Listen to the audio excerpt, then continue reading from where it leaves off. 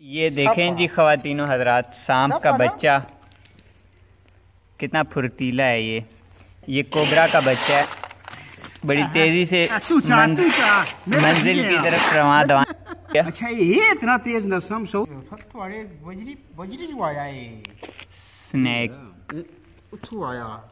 तो बिच्चू पे भी पता नहीं किड़े जमाने नहीं रखी हुई होती है सांप का बच्चा छुपने की कोशिश में। बहुत स्पीड है। किधर गया जख्मी हो गया जी सांप। बस करिए तके